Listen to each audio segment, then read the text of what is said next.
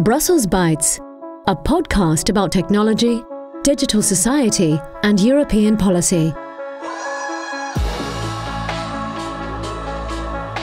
Brought to you by the Martens Centre with Dimitar Lilkov.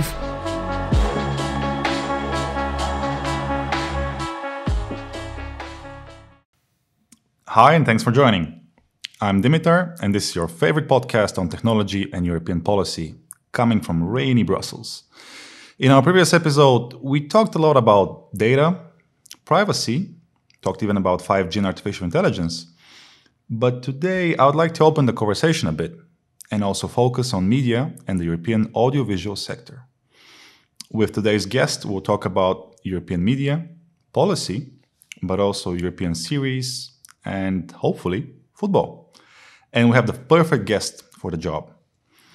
I'm really happy to be joined by David Wheeldon, who leads Sky Media's policy positioning and advocacy, as well as government relations and industry engagement across Sky's European markets and European Union institutions. David, it's a pleasure to have you. Dimitri, it's lovely to be here. David, you're based in London. How does Brussels feel? How does rainy EU Gotham City feel? Well, I've been working in Brussels for the best part of 20 years, so I'm quite familiar with the city and um, I rather like it. So I think I come here maybe once or twice a month. Um, uh, and the rest of the time, I'm in some of our other European headquarters in uh, Milan and Munich and Dublin. Um, Sky is a pan European organization, pan European broadcaster. I think we are the largest commercial broadcaster in the European Union uh, with 24 million customers. So we have significant scale and we have significant scale in significant markets, uh, which gives us a quite unique perspective as to what is going on across the continent. Didn't you recently launch a new major studio here? We have. We have launched Sky Studios. Um, so if you think about Sky as having three pillars up till now the UK and Ireland business, the German and Austrian business, and the Italian business we've launched Sky Studios as a fourth pillar, stretching right across Europe. And it's going to be a very major studio. We've made a pledge that in the next five years, we're going to double the amount of money we invest in European original content. So it's a major opportunity, it's a major investment in Europe. Uh, and I think it's a sign of the confidence that we have of Europe as uh, a major cultural force uh, and a major um, focus point for businesses such as ours operating at scale.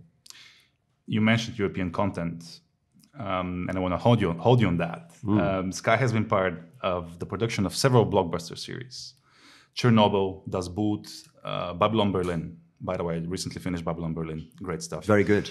Um, in all of these series, they tell very specific European narratives mm-hmm. set in the 20th century.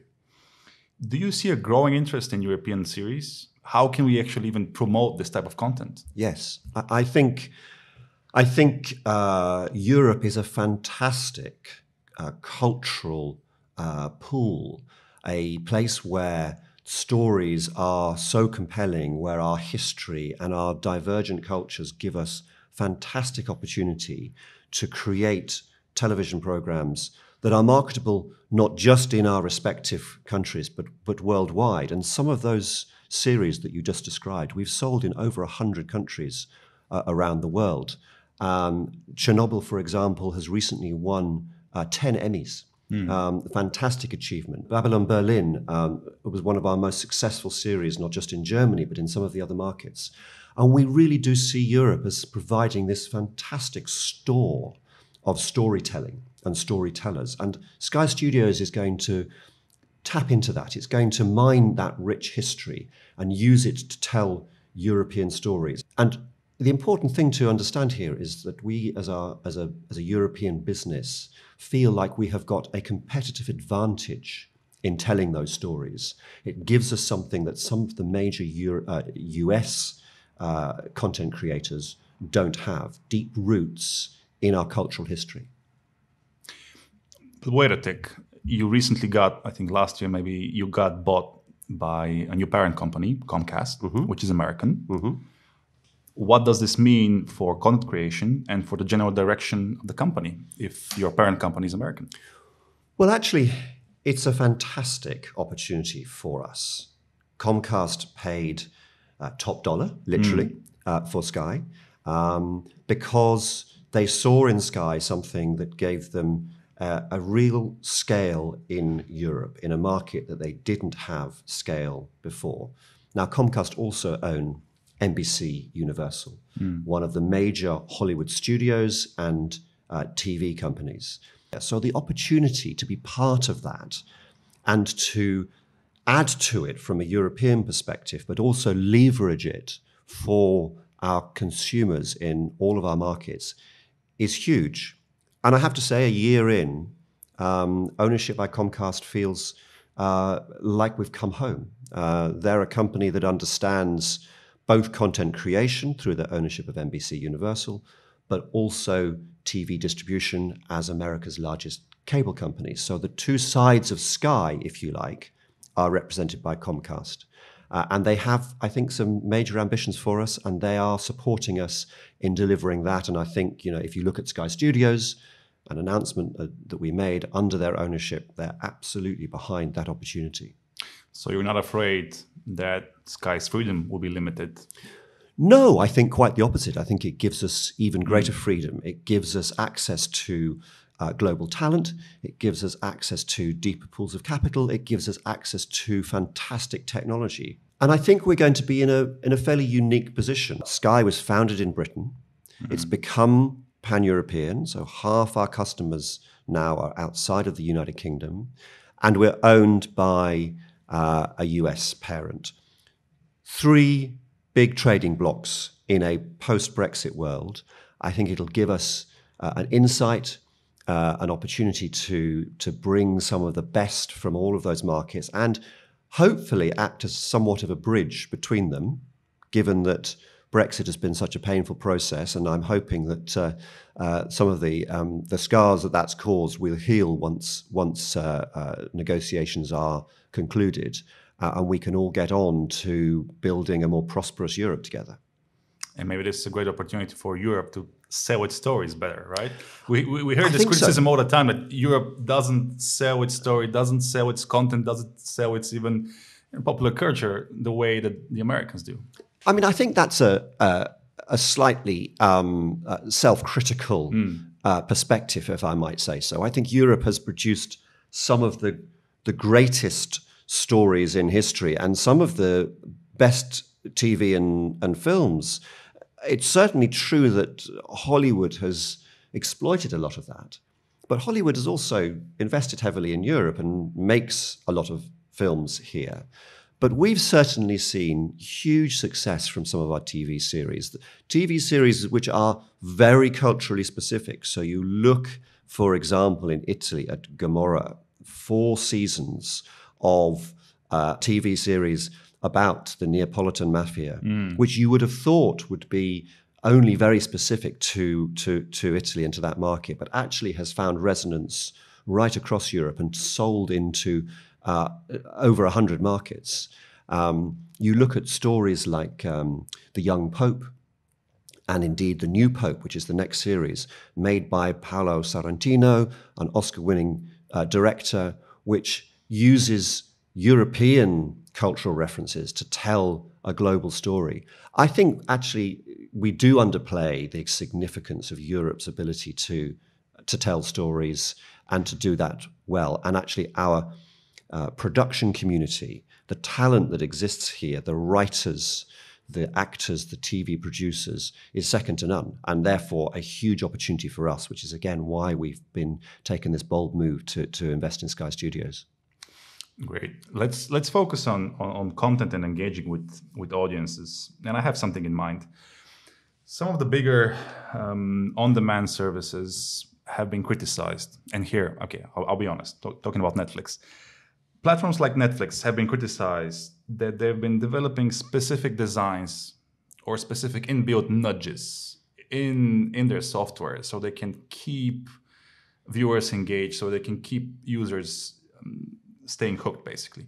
And I, I'll give you a great example. Um, a couple months ago on this podcast, we had a, a guest member from the European Parliament who met with representatives from Silicon Valley, and he he spoke with people who are engaged in this industry, uh, on-demand services, video platforms, and they were talking about different problems and, and different issues. And one of them told him, one of my biggest problems is that people sleep, and that I can't engage them with my content 24/7. So, where is the fine line between positively engaging with people and actually potentially harming them by binge watching? I think that the harm caused by binge watching, in, in the grand scheme of things, mm. is a, a, a, pretty low down the order. I mean, given some of the issues that we see in the social media world. Mm. Look, I think you've got to think about this in, in a few different ways. First of all, platforms like ours are curated platforms. We take the best content from our local markets and around the world, and we present it to customers in a way that they find easiest to access, most compelling, with the best service.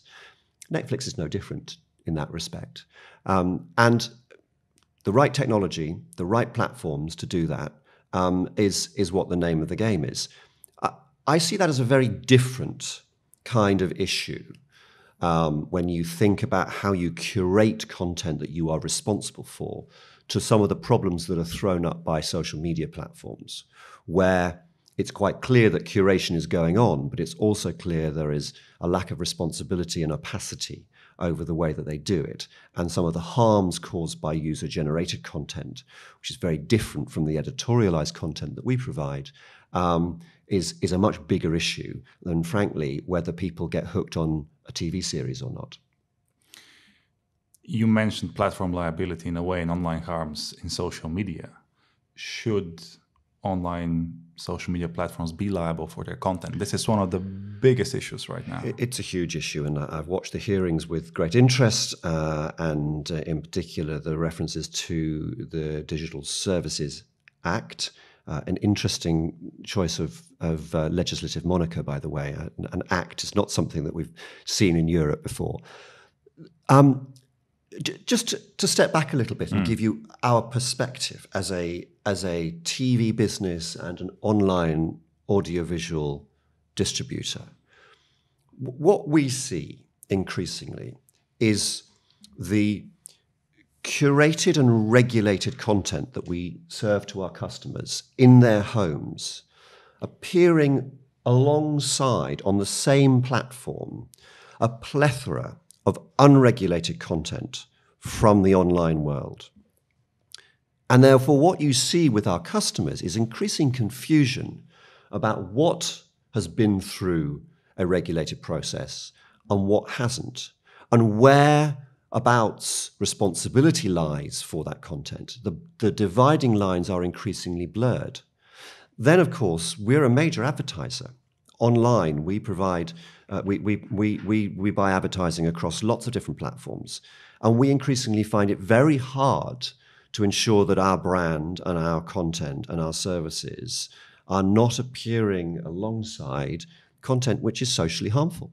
And we don't get from the platforms the kind of assurances that we need as a significant spender on their services that they're doing enough to protect our brand and to protect our customers. And then finally, we're a major internet service provider in the UK, in Ireland, and soon to launch as a broadband provider in Italy. And we provide tools for customers to keep themselves online, uh, safe online, parental controls. Broadband Shield in the UK was the first of the parental controls to be turned on automatically for customers. And what we see there is increasing demand from our customers to have some form of um, known protection from what they are seeing online, the ability to keep their homes and their children, their families safe. So, from all three perspectives, we see an online world which is increasingly blurring the lines, and it does feel like uh, Brussels and the EU is going to start to think seriously about that, as we've already seen happening in some of the markets that we operate in, like Germany and the UK so you think that the mood is shifting? Because as, as you say there is demand from the users.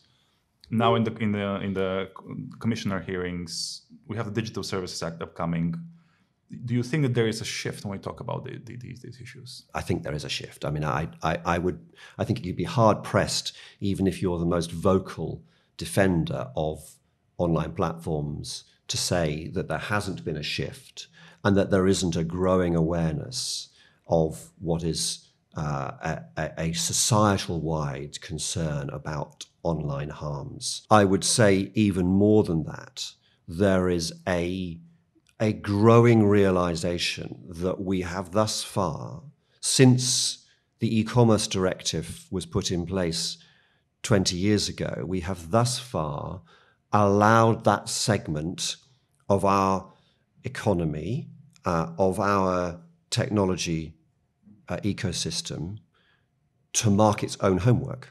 Mm-hmm. There's been no framework that oversees the policies that these companies put in place. So self uh, self regulation, yes or no? I, I think the days of self regulation, frankly, are over. That that is uh, ultimately what this debate is about. Uh, by the way, I'm certainly not throwing stones and accusing them of not taking some responsibility. They have tried to take some responsibility. The problem is there is no oversight of that responsibility. There is no oversight of the actions that they're taking. There's no objective measurement. Now, the world that I come from, that's what we have had for decades, almost since the birth of television. Back in the 1930s, there was regulatory oversight, and we were subject to a set of rules which we have to follow, which were designed to keep society safe and to protect viewers and customers. And I think those days of saying, yes, they can state mm. what they're doing and allow themselves to mark their own homework and tell us whether or not they think they've been they've done the right thing. I think those days are coming to an end. The question of how that framework evolves and what is put in place is obviously the subject of fierce debate. And we're certainly, I think, going to see over the next few years um, uh, in this in this town in particular um, some pretty, I think, some some pretty lively um, uh, conversations and uh, quite a few um, uh, euros and dollars spent trying to influence the outcome. By the way, on this topic, because I also follow it quite closely, one of the most active proponents for, for regulation, for actual action in this domain has been the United Kingdom. Brexit or not, the UK has been engaged in this topic. Two examples spring to mind. First of all, the UK Electoral Commission, for example, in the last decade has been saying during election campaigns, it's a digital wild west when it comes to digital advertisement, sponsoring. It, it's it's we have to change the rules. And secondly, um, a very interesting white paper came from the UK recently on on online harms, which focus on the issues you, you just you just raised, and also suggest a number of measures in which companies should be more liable in the protection of, of, their users and especially kids. Can you update us a bit on the UK online harms uh, white paper? Yes, actually, shall I? Let's let's take those two things. Okay. The, the, the point about elections is really interesting because I was looking uh, online just this morning mm. at the response that Facebook made to an accusation from Elizabeth Warren, who, by some accounts, is the leading Democrat contender in the US presidential race, where she had um, alleged that Facebook didn't take responsibility for untruths in some of President Trump's advertising. Now, that's by the by, whether you think they were untrue or not. But Facebook's response was we shouldn't be the determinant of what's acceptable here. Just like broadcasters, there needs to be um, some outside verification. I think the quote is they do not want to see themselves as arbiters, as arbiters. Of, of truth. Right? A- yeah. Absolutely, arbiters yeah. of truth. Yeah. Now, that's very interesting, right? That seems to me to be a explicit acceptance that there needs to be some external arbiter of what is acceptable in terms of election and political advertising. That's a fundamental change, actually, from where they've been. So I think we need to watch this space very closely. The UK situation is really interesting. The UK government published a white paper uh, in the summer, uh, online harms white paper, and actually announced yesterday in the Queen's speech that it would be publishing some draft legislation in the next session of Parliament, um, which would then be open for consultation. Um, and what the UK is doing, I think, is very interesting because I suspect it's going to become a bit of a template for the conversations here and elsewhere. Because what the UK is saying is not that we think every piece of content should be subject to some kind of external regulation, but that the policies and processes that the online user generated social media companies put in place need to have uh, an objective regulatory framework. So it's the subjecting the policies and processes to oversight rather than the individual pieces of content. And that's something that we've certainly argued for for a while. We published um, a think paper uh, last year which proposed something quite similar.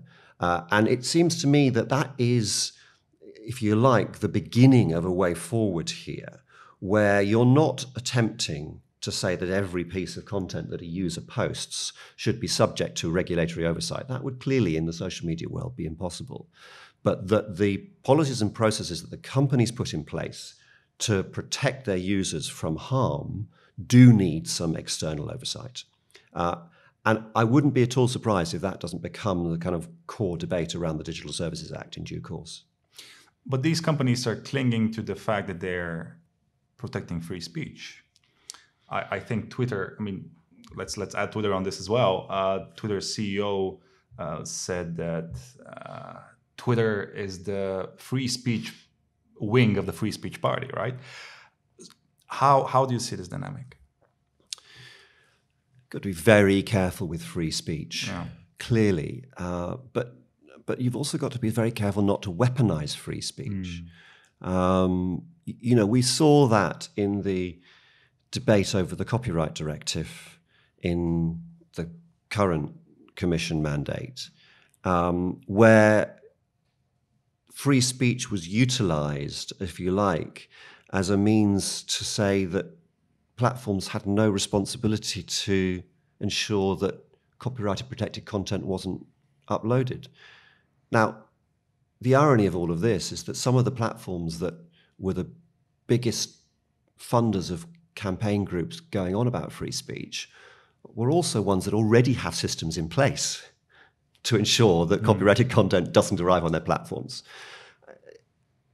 The question really is not how do we protect free speech, but what are the rules that govern free speech? At the moment, we've effectively privatized the decisions over free speech to these online platforms. It's not that every piece of content that you want to post, however extreme, appears on their platforms. It doesn't. They, in fact, they boast about the measures they take put in place to stop that from happening. The point isn't that free speech isn't a crucial area, an issue. The point is who ultimately bears the oversight and the responsibility for ensuring that free speech isn't abused. And at the moment, the platforms themselves take that responsibility. And, and they have no choice but to take that responsibility because, in many ways, the legal framework requires them to do it. I think what I'm saying and where I see the debate going is that there seems to be an acceptance that, uh, that that's no longer the right way to go. And indeed, I would hope that many of them, as you referring back to that Elizabeth Warren example earlier, many of them are beginning to realize that that isn't a sustainable situation any longer. And we should not weaponize free speech. And I mean, Yeah, I, I think it's really, it's, you know, free speech existed long before the internet, and free speech as a concept is one that we all hold to dearly. Uh, It's part of the, uh, it's part of our European society. It's part of our democratic system. It's absolutely critical. But free speech isn't something that is absolute, and free speech comes with responsibility. And especially after we, we, we see what weaponizing free speech leads in terms of disinformation and uh, attack on the integrity of our democratic systems and so on and so forth. But I, I just want to pause here and take a, take a step back because I mean, the UK, as we see, is taking a a very important step in a specific direction and on a number of important, crucial topics for European security, for European economy, for European society.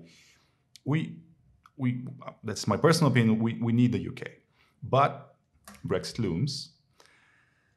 How does Brexit impact the future of your work? And how will Brexit impact all of these topics, issues, and policies we, we, we've touched upon in the last 10, 20 minutes? Yes, well, uh, that in many ways is the great unknown. Um, for us as a business in particular, it's going to be an interesting um, challenge to navigate. As I say, half of our customers are outside of the UK uh, in European Union member states. And I fully expect as this company continues to grow, as we have some great ambitions to do, that even more greater proportion of our customers will be outside of the UK going forwards. Um, so, how we navigate that new world and how uh, we learn lessons from the UK's position outside of the EU, possibly, if it happens, um, is going to be very interesting. Um, but you know what? We've got to get through this. Um, there is a de- high degree of Brexit fatigue setting in in the UK. In fact, um, to let you into a, um, an advanced uh, announcement, uh, this afternoon we are announcing that Sky News will have a pop up channel uh, in the UK, which will be branded Brexit free, because I, frankly, an awful lot of people are really quite tired of going on and on about it. Um, so, uh, you know, I talk think. Up, talk about uh, consumer demand. Yeah, let's talk about anything other than Brexit. Maybe we can talk about the football. Um, uh, but yes, uh, so that's a, that, that we, clearly navigating that world is going to be an interesting challenge. I'm, you know, part of me, and I know some of the audience listening to this in Brussels are going to hate me from saying this, but part of me is sort of secretly looking forward to it because it's another challenge. It's a, it's a, it's a, it's a change, and I, I do think, if I might say so, that sometimes we in the EU, you know, we get a bit complacent sometimes, and we are unwilling to learn lessons from outside of our bubble. And the one thing that Brexit will bring is something on the outside but fairly a, a close. Ki- a kick in the bum. Uh, no, let's not phrase it like that. Let's look at it more. I'm trying to look at this positively as best I can um, because I think we have to be positive. Um, so let's just cross fingers. Um, uh, some listeners might like to know that my my wife is a is a member of parliament and is legislating on this, um, and uh, she is uh, looking forward to getting this over and done with, not least for her own sanity and her own family life. um, you're British, I'm Bulgarian, and I think our ah, na- our nations yes. are experts in politics and football. So maybe we can we can uh, we can turn to football. You're you're an avid football fan. I am. Um, Sky Sports has recently started putting highlights of Premiership games, and I'm saying this because I follow this also closely. You've started putting um, Premier League highlights on YouTube. Yes. Is this a one-off bonus to engage with a younger younger audience, or is is this does this signal a, a shift that you'll be engaging more with different types of platforms and sharing your content on, let's say, YouTube?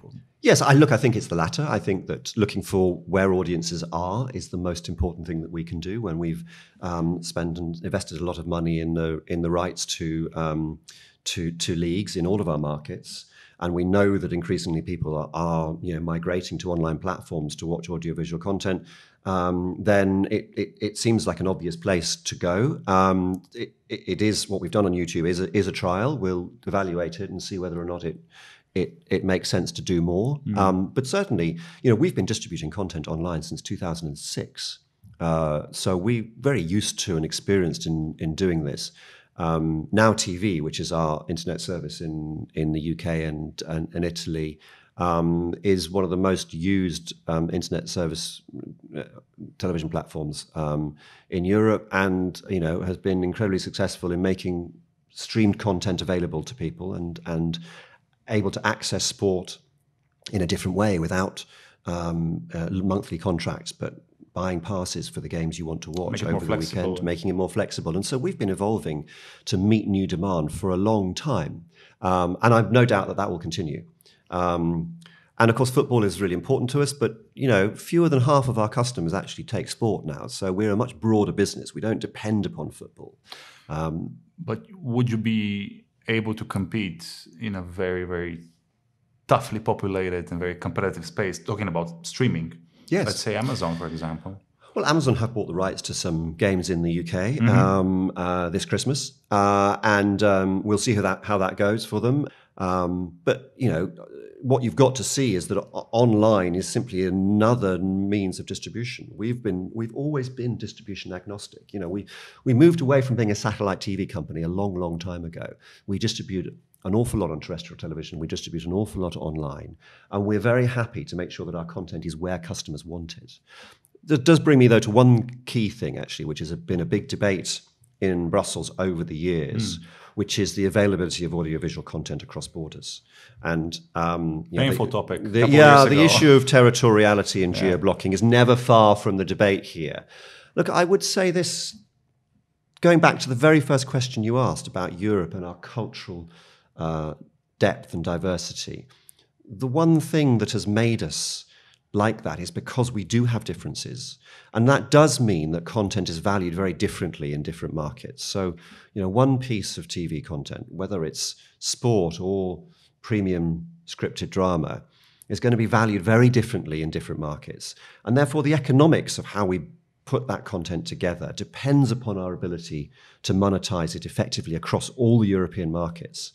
And if you start to chip away at, erode that ability to sell it differently, different platforms, different windows, different monetization packages in the different markets, you will fundamentally weaken the ability to invest in European content. And you know, all that will do is play into the hands of the global Silicon Valley, West Coast based studios um, who wish to produce global content and own the rights globally and aren't interested in the kind of investments that we want to make in European stories. So I've said this to the Commission many times, I've talked to, to MEPs about it many times. We've got to be very careful about this whole area because actually, what it does at the moment is underpin the strength of our audiovisual sector and of our cultural difference and our storytelling capability, and we mustn't undermine that. As a strategic priority for I believe it's culture, audiovisual service. Yes, it's a strategic priority, and we should see it as that. And look, the single market is, of course, it's important that people have that ability to um, to access goods and services in Europe uh, uh, wh- wherever they are. But there are very different types of services and goods in the single market, and we have to recognise that audiovisual is a very special, very different type of product, very different type of service. And I think it's taken an awful lot of energy and effort from our sector that every time this debate comes around, we feel like we've got to go through it all over again to explain why it's so important that we sustain a structure that allows us to continue to make the investments. I'm sure we can keep on going with this amazing conversation at least for one more hour, but we have to close. And I'm really tempted to ask you a cheeky question. You were a policy. Arsenal or Man United for the title. I'm Man United. You're Arsenal. Yeah, I think like we were saying earlier that we're, we're that. fighting for fifth place, which is a little bit depressing. Let's not go into that. It's very painful at the moment. Um, you were a policy advisor in the House of Commons in the 90s. I was. Maastricht Treaty. I was Oh. there. You were there. Oh, yes. I How well remember did, it. How did political life change in the last two decades in Westminster? And, and I'm asking this because, look, Westminster and British politics have been a, a template for, for, for politics, for young democracies, for young aspiring democracies globally. And, and now we have this change in, in British politics. We have this, I don't know, fudge. What, what happened in the last couple of years? Well, what happened in the last couple of years was the Brexit vote. Sure, but, um, yeah. That more than anything has has um, upended some of the certainties that we're that? used to. Is it only that? No, it's not only that. Look, I don't think that we're that different from what's happening around the world. Um, you know, politics is becoming um, less tribal. People people no longer vote in the traditional tribes that they're used to. They are they treat politics like a consumer. They are much more prepared to pick and choose what they want, what political syst- uh, uh, uh, parties they want, what political leaders they want. Um, but whilst people have evolved like that, our s- political and democratic systems haven't. And in particular, what we're seeing in the UK is our political parties are really no longer able to represent the range of views that people out there have. Now, whether or not we get through Brexit, things might revert back to normal, I don't know. The only thing I would say, I'm sort of, I've lived through a few political crises um, in my 25 year career. Uh, as I say, I came into working in the British Parliament in 1992 and was there during the big votes on Maastricht when John Major lost his majority and the House of Commons was equally deadlocked. Um, and yes, what's happening with Brexit is a, a, another scale. But political dramas and crises do come and go. I would say that we've all got to try to think and lift our heads above the day to day drama that we're facing at the moment and think big, think about what's going on globally. You know, we where do we see properly argued in our democratic institutions how the rise of China and the geopolitical positioning that's going to go on between China, the US, and Europe and Russia is going to be tackled in future. You know, we have a rising superpower that is going to change everything, that's going to want to do global politics on their terms. And I think that we, as a as a body politic, are singularly ill-equipped to be dealing with that.